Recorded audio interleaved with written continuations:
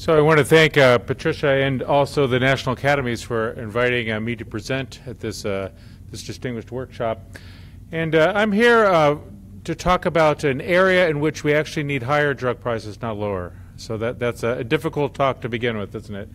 And just to say from the beginning that I'm here giving my academic opinions from Boston University, not necessarily the position of CARB-X or any of the CARB-X funders.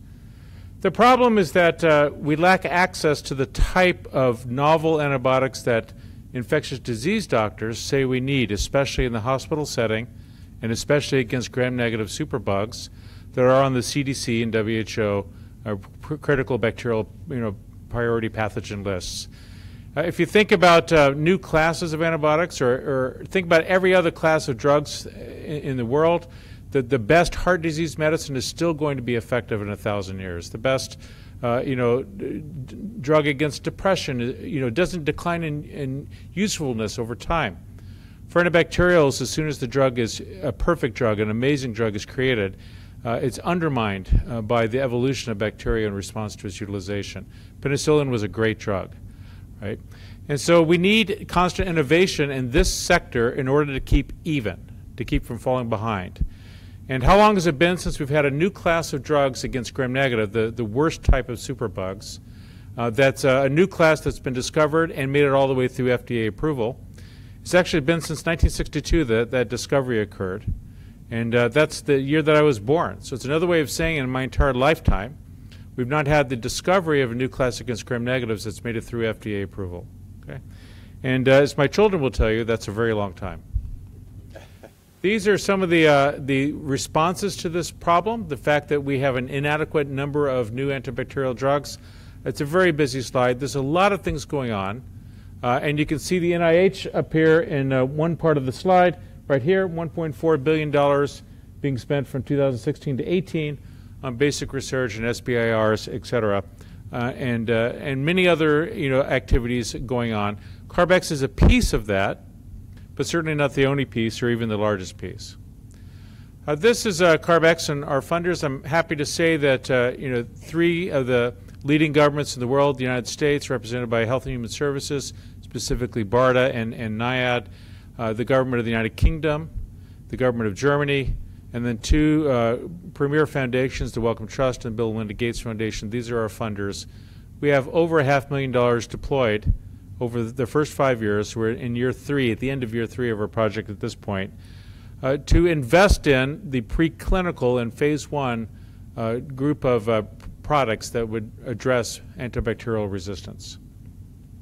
So trying to keep uh, close to the topic today, I'm going to talk about the basic research work with NIH, how that fits a little bit with CARB-X, uh, some things about specifically NIH's interface with CARB-X, and then finally, about the stewardship and access rules.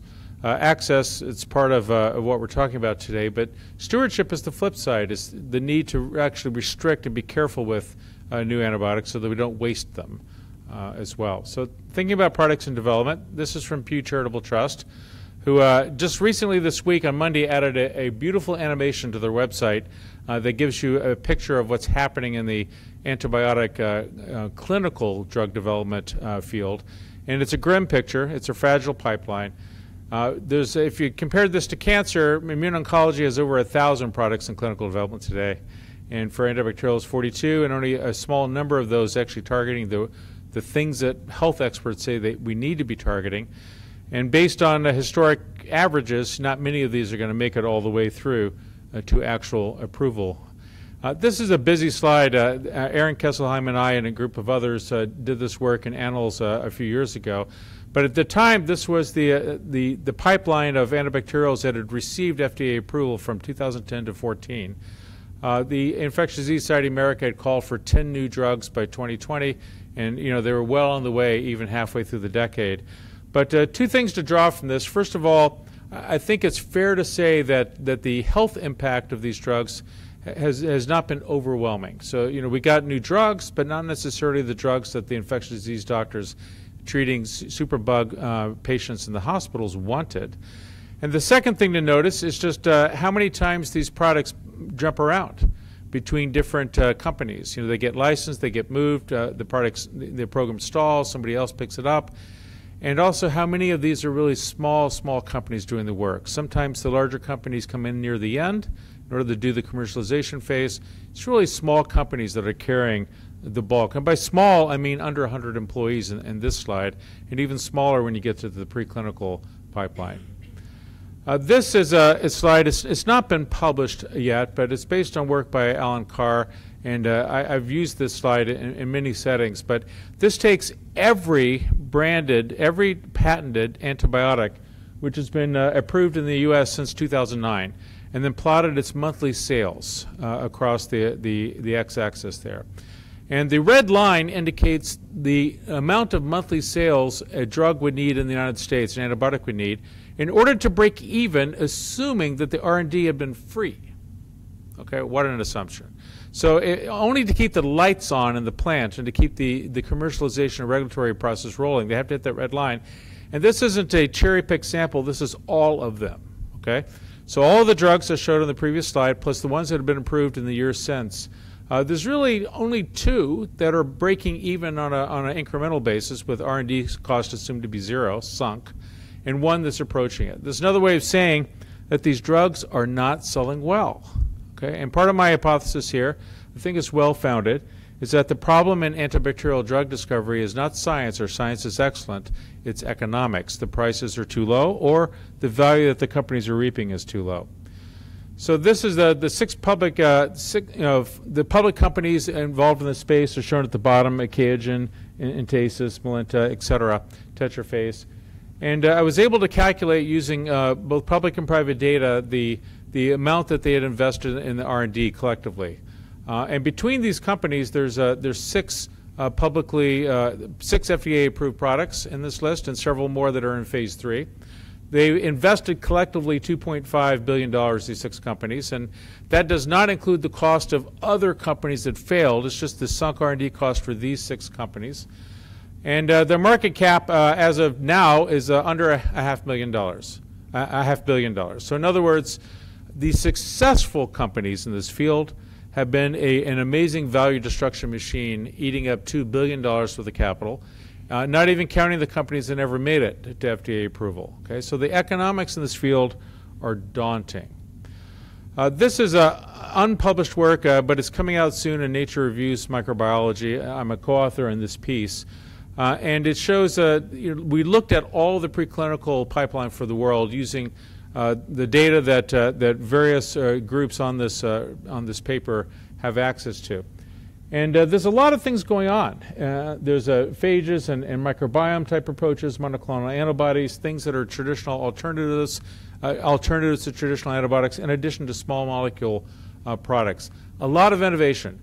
And uh, I, we haven't written the paper yet on tracing how many of these go back to the NIH, but I'm telling you that the NIH looms extraordinarily large, and its analogs in other countries, uh, not only in the, the original patents, but also uh, you know, creating the technology which is spun out, and then a subsequent patent happens when the company spins out.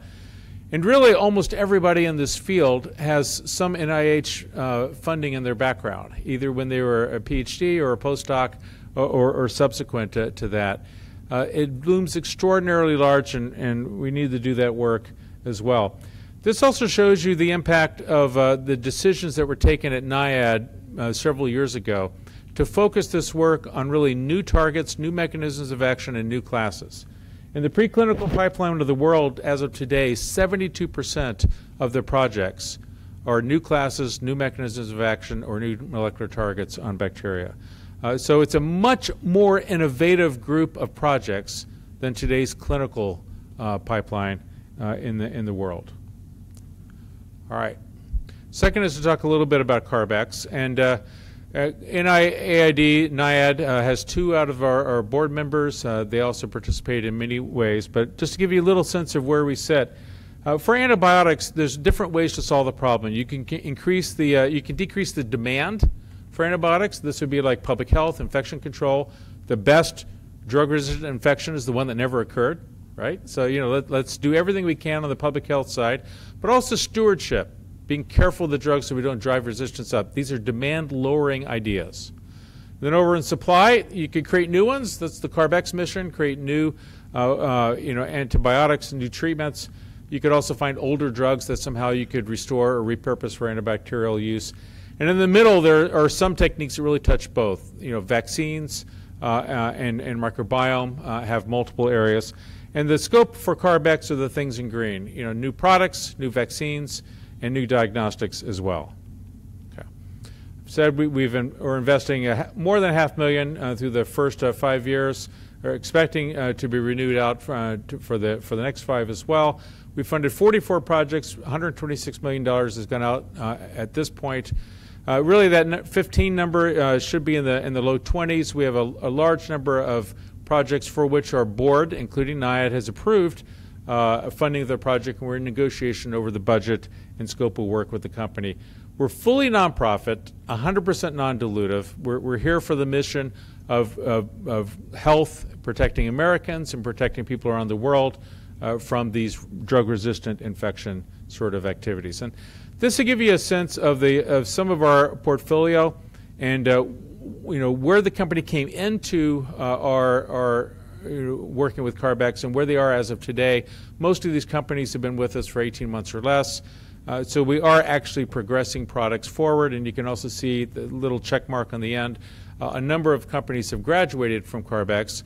We, we go only go to the end of the phase one human trials, and uh, there's other uh, you know programs, especially within the U.S. government, from BARDA uh, to pick up funding at the phase two and phase three. BARDA is our, our largest funder and, uh, and the, has the largest representation on the board of CARB-X as well, the JOC.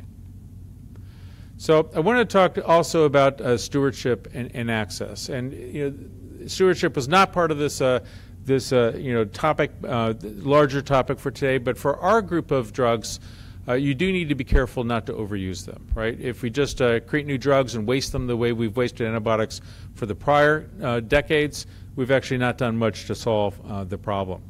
So this represents uh, some of the balance. And if you can believe it, uh, this one slide was really the topic of a two-day meeting in Geneva, a, workshop with 150 people.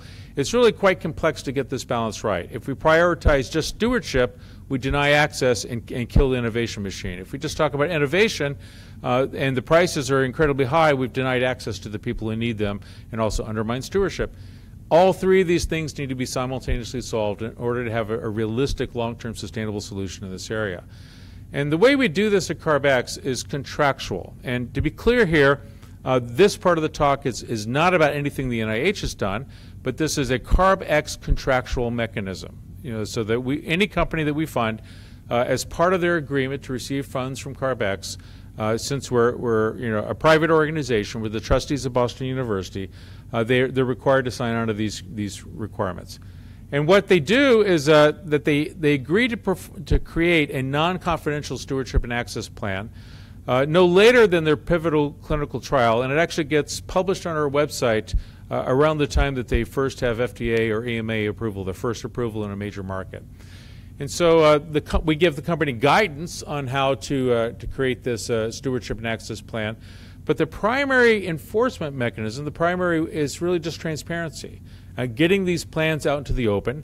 They include things like uh, you know the pricing and the, the licensing strategy and, and where in the world they plan to commercialize and what parts of the world they don't have immediate plans to commercialize, how they then plan to make it available if, if, it's, if it's useful uh, in other low and middle income settings, et cetera. It follows general norms from, uh, from the, as you can see, the industry roadmap and the WHO Global Action Plan. It's published on our website. It's updated on a regular basis. And these obligations follow the project IP, which is uh, you know, the things that are created uh, with CARB-X funding. Um, if, uh, if CARB-X goes away, if our grant ceases, the Wellcome Trust, our second largest funder, is the inheritor to these rights. Uh, we're pretty sure the Wellcome Trust will be around uh, to, uh, to continue to carry these things forward and uh, and they have to uh, to cover um, you know five basic elements which I have on backup slides because I, I, didn't want to you know overwhelm you with those. Uh, they're on the backup slides here today. But one important one is that uh, there's a, a, contractual analog to the Bayh-Dole right uh, baked into our contract. Uh, it, it, and, the, and those rights rest not with the director of the NIH, but with the director of Wellcome Trust. it's important for me to emphasize that uh, all of the relevant stakeholders, including the companies themselves and including their trade association bio, uh, have signed off on this program. Uh, mainly because it was so well understood that uh, for antibacterials you have to have stewardship. You can't just have uh, you know willy-nilly marketing of these new powerful drugs, and you have to think about uh, how the access is going to be useful and, and available around the world. Failure to do that would mean failure in this category of, of drugs, and all the relevant stakeholders, the funders of CARB-X, uh, the companies themselves, uh, and the industry writ large uh, have agreed that this is the correct way to proceed. Uh, the last thing I want to say is that uh, CARB-X is, a, is an amazing uh, viewpoint into one particular silo of drug innovation, antibacterials. Uh, because of our relationship and the number of companies that apply to us and the number of companies that we fund, uh, we, we have a, an incredible view into everything, I think, going on in this one particular you know, vertical silo within drug development. And, uh, and we have the ability to, to, to do anonymized uh, academic work uh, based on that information. I'm also principal investigator uh, of this project. Uh, we, can, we will never do anything that uh, you know, releases information that's confidential to a certain company. But uh, for example, the preclinical uh, slides that I showed earlier that are coming out in Re Nature Reviews Microbiology in the near future are based on, in part, uh, this sort of information.